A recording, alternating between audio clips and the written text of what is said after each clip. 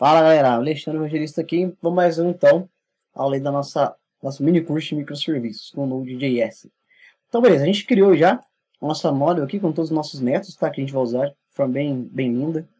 E vamos então criar a nossa rota. Então como a gente criar essa rota aí? Eu vou colocar aqui ó, um ponto post, que é o tipo de rota post. Vai ser barra mesmo, barra user post, já vai fazendo essa mágica acontecer. E vou passar aqui a requisição, a resposta, a gente vai usar esses caras. Beleza? E aqui então eu vou fazer igual a gente fez ali em cima. Então eu dou um client aqui, ponto send, ou seja, eu vou mandar para alguma coisa para algum lugar. Esse, esse type aqui vai ser o nosso type post. Ou seja, eu vou mandar essa requisição aqui para o meu back-end, aonde então o nome dele vai chamar post. Tá? Eu podia mudar isso aqui para user post ou outra coisa tá? que a gente vai fazer futuramente quando tiver outros eventos rolando aqui em back-end. E vou mandar aqui no meio data. Esse data vai ter a requisição ponto body, ou seja, vai ser o corpo da nossa requisição, ok? E aqui então vai pegar a resposta, que vai ser um usuário qualquer, e vamos retornar ele usando então o nosso response, que é onde passa o resto ali e o que a gente vai estar tá retornando. Beleza?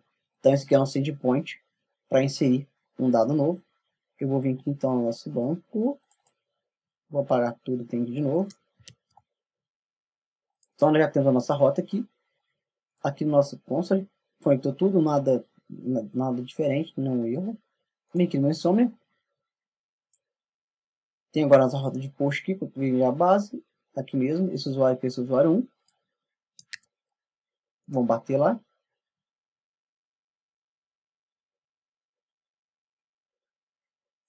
E deu aqui que não tem o evento post.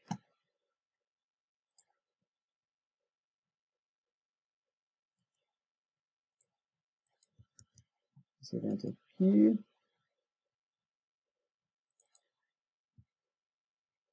Tá, post.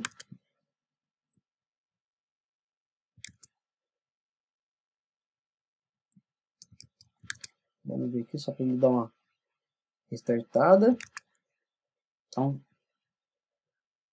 um send, tipo post e data de requisição. Beleza, vou mandar de novo para a gente ver se deu uma coisa errada.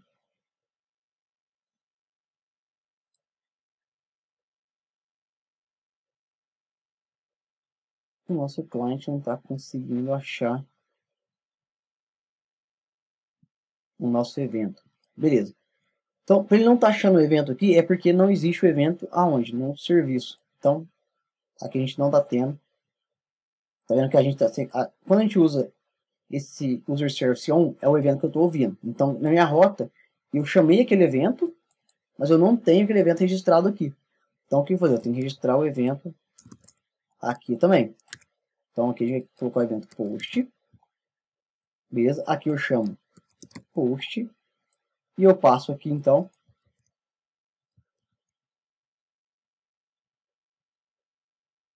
a requisição. Então, beleza, aqui eu peguei a requisição, vou passar aqui o data. Então, aqui eu tenho que passar a rec.data, tá, gente? Não vai dar muito ruim. Beleza, criei o post, coloquei o método bonitinho. Ele subiu tudo de novo pra gente. Vamos dar lá um post novamente. E voilá. Então, aquele erro que deu aqui, ó, que não tem lister para aquele evento, é que o evento não foi criado aqui dentro do nosso service. Beleza? Por isso, deu aquele errinho lá. Então, para a gente já aproveitar que já está aqui, já vamos criar aqui os outros serviços também.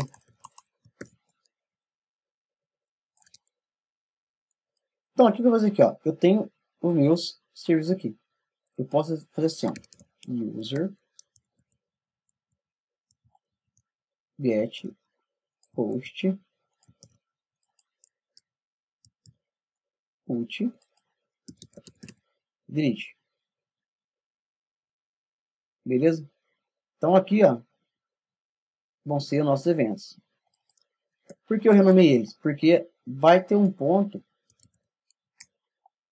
que nós vamos ter aí mais de um post, mais de um get, etc. Então a gente vai colocar então esse prefixo aí para facilitar a nossa vida, tá? E aqui na nossa rota depois eu vou ter que chamar da mesma forma.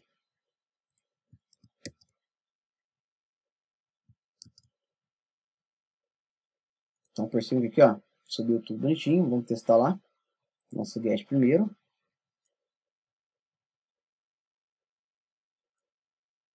Então perceba, funcionou. Ele veio aqui, bateu, pegou. Vamos testar o nosso post.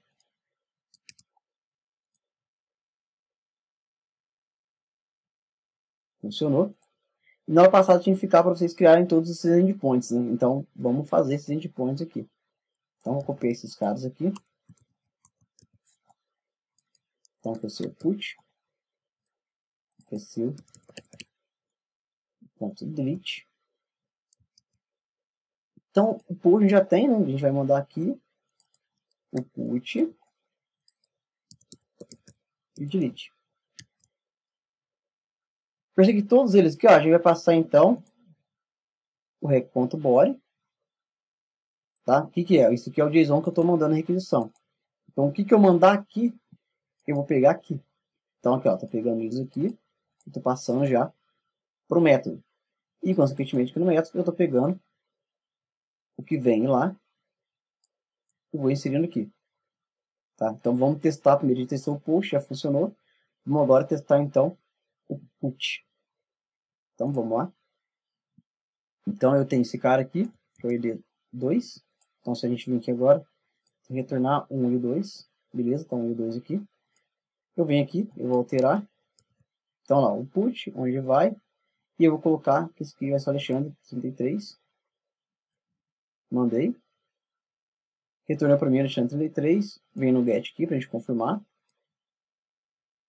Então aqui, ó, Alexandre 33 e D2. Funcionou o nosso put. Vamos agora testar então o nosso delete. Aqui no delete ele é bem interessante pelo seguinte. Eu vou passar só o ID que eu quero pagar. Então eu vou passar o ID 2 aqui. Ele vai ter que pagar o ID 2. Já deu algo errado. Vamos ver então aqui nosso console. ele deu erro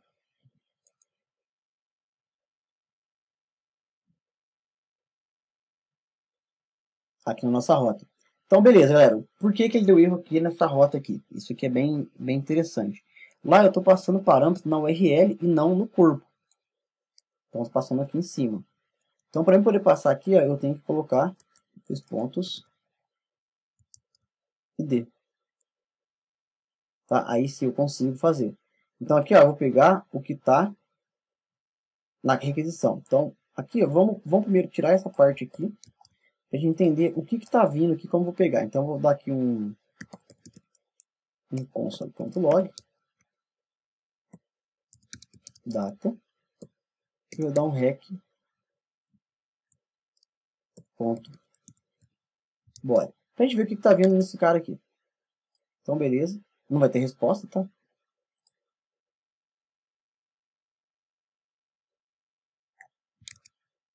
Vou colocar um response aqui só para não, não quebrar tudo.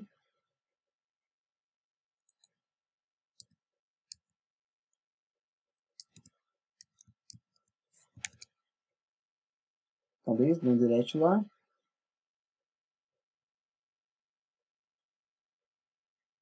Deu um inválido para mim ali, mas aqui ele vem aqui, ó, o data Ele vê isso aqui, ó, porque aqui eu estou mandando algo no corpo. Ó. Se eu não mandar isso aqui, der de novo,